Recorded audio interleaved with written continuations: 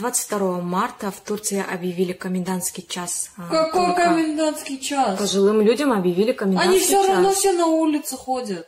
Бул төрт күн мурунку тасма. Кыргызстандык жеңишгүл шабданбекова туркиядагы карантин тууралуу видео блогунда ой бөлүшкөн учурда ал жакта кырк жети миңден ашык адам илдетти жуктуруп алган. Миңден ашыгы мерт кеткен. Өлкөнүн отуз шаарында анын ичинде анкара жана стамбулда кырк сегиз сааттык коменданттык абал киргизилип элдин көчөгө чыгуусуна тыюу салынды. Ал он үчүнчү апрелге чейин созулмакчы.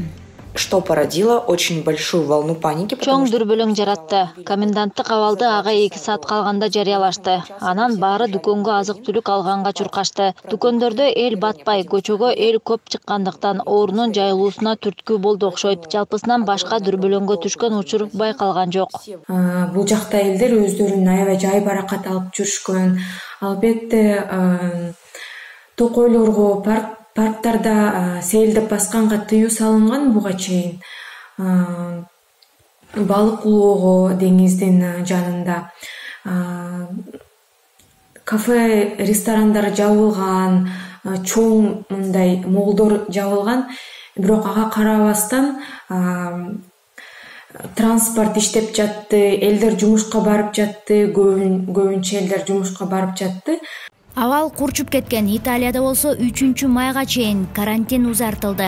Ал жакта коронавируска акырына чейин ишенишкен эмес. Алгачкы учур февралдын жыйырмасында катталган. Карантин үч аптадан кийин жарыяланган. Ковид он тогуз кадимки сасык тумоодон алсыз экени айтылып италия ооругандар саны боюнча кытайдан алдыга чыгып кеткенче эл кадимкидей жашоосун уланта берген. Кытайда азыр илдетке кабылгандар жүз кырк жети миң испанияда жүз алтымыш миңге чукул. Жана америкада жарым миллионго жакын италиядан оорудан он сегиз миңден ашык жаран мерт кетти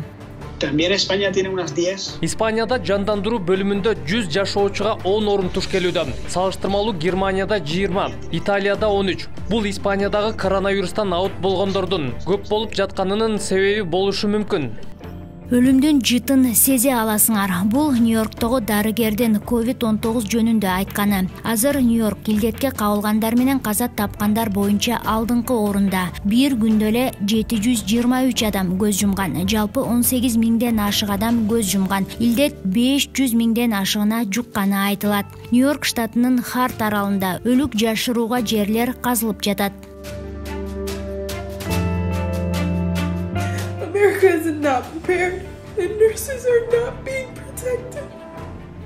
если я работаю одна с семнадцати больными и я не знаю как успеть им помочь и себе помочь.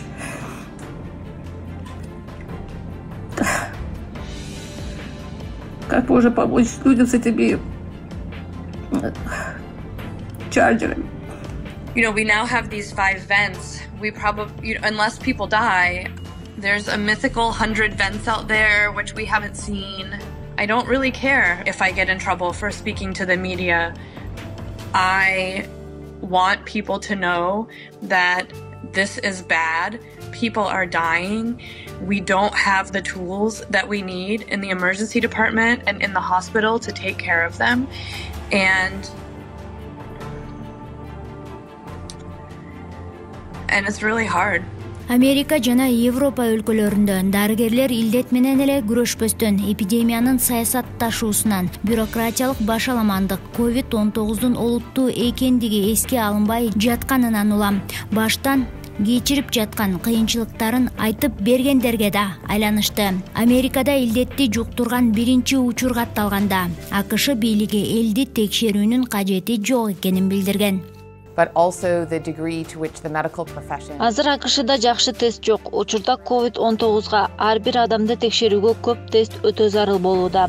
Биз жаңы катталган ар бир учурду көзөмөлгө алып дени сак адамдан алыс кармашыбыз керек эле. Бирок мындай болгон эмес вирустун коркунучтуу экенин ооруканада эмне жетишсиз жана жагдай тууралуу ачык айткан дарыгерлерге тыюу салбаш керек. Америкалык жана европалык медиктерден кмш өлкөлөрүнүн саламаттыкты сактоо министрликтери үлгү алышы керек дейт. Чикагодо жашаган элнура молдокадырова.